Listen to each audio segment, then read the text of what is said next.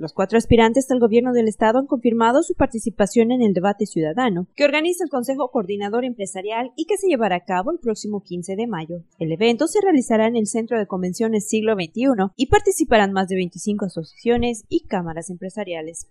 De esta forma, la sociedad civil organizada yucateca se suma al esfuerzo conjunto que de la misma manera se está llevando a cabo en otras ciudades del territorio nacional para que por primera vez en la historia del país se realicen debates con el mismo propósito, identidad, formato y dinámica. En este ejercicio ciudadano se abordarán cuatro temas, política económica, transparencia, seguridad y política social. En total, serán 28 preguntas elaboradas por la ciudadanía. Cada debate ciudadano se realizará a tres voces, con expertos en los temas que se tratarán, ciudadanos representativos de cada localidad e internautas de redes sociales mediante las preguntas más votadas en línea.